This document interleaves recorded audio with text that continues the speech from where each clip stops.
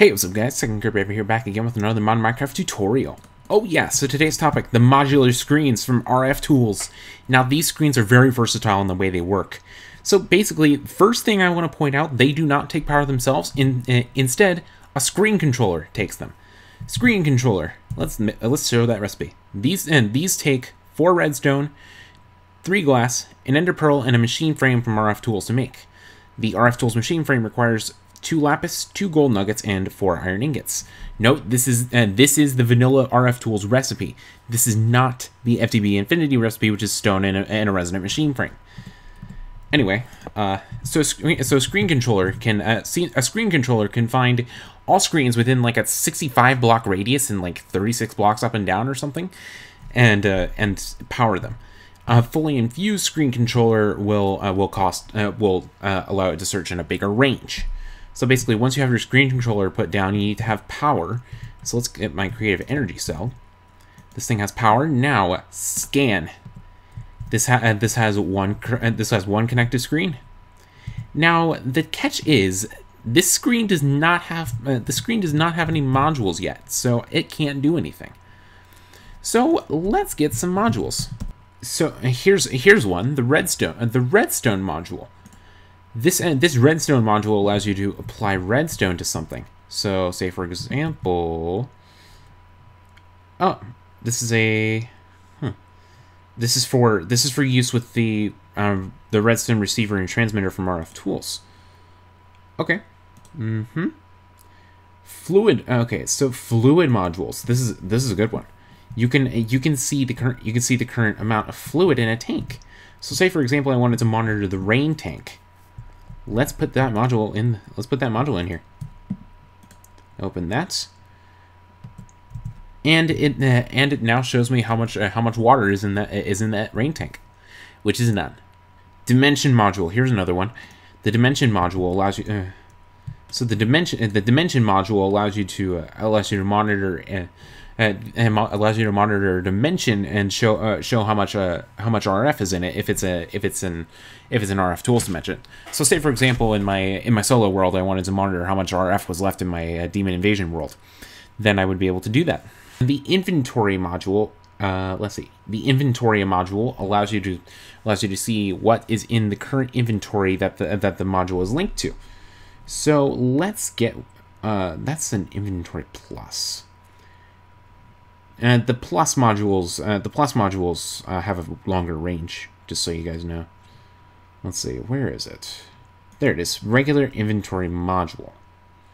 Now, I don't have a... Oh, smelter controller. That'll work. So, uh, so I sh I shift right clicked on the uh, on the block that I wanted to monitor. Then I can put it in, and I can I can then see. Let's see. Select index to show. So, okay. So if you're if you guys are familiar with uh, if you guys are familiar with uh, with like uh, indexes from uh, from like programming languages, you know you know the indexes start at start started zero and and and has started zero and go on. So basically, basically this is um, showing uh, slot number one, two, three, four. The inventory plus module will allow you to see more of that.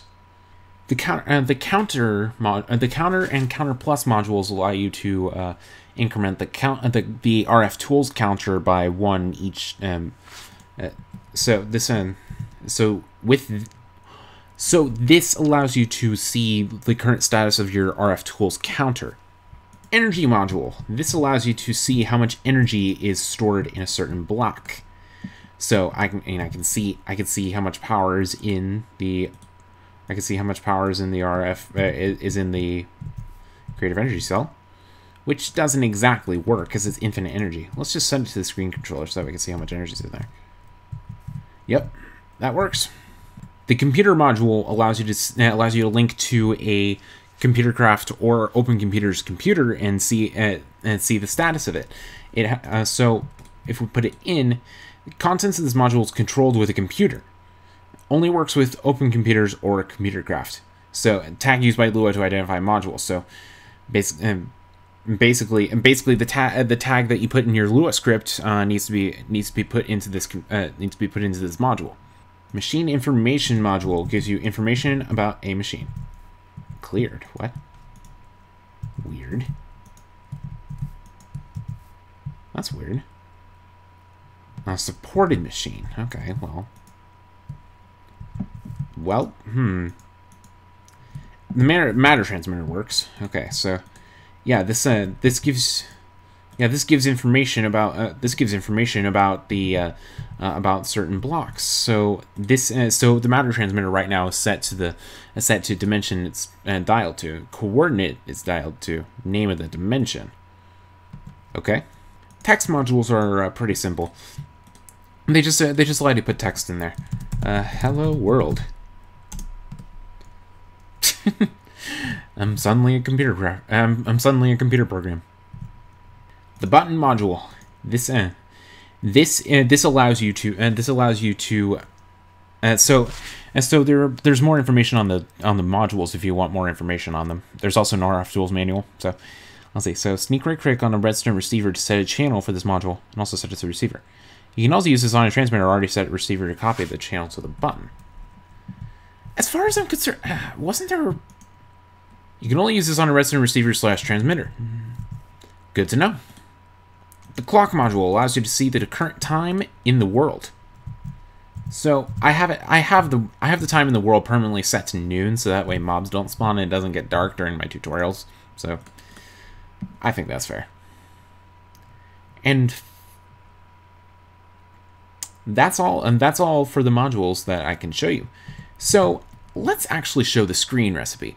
And let's also get some of the stuff from the last tutorial out of my, out of my inventory. All right, so the screen. In order to make it, you're going to need five glass, three iron, and a machine base. Machine base is made with three gold nuggets and three stone. Pretty simple, actually.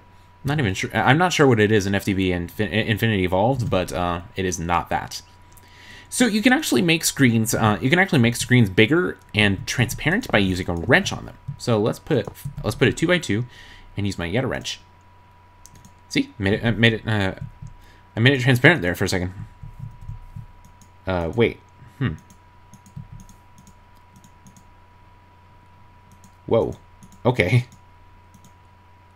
There we go, I got it fixed. There's still screens here, though, what the heck?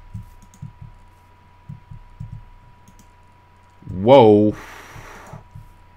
Okay, I don't know what is going on. That's just weird. Hmm.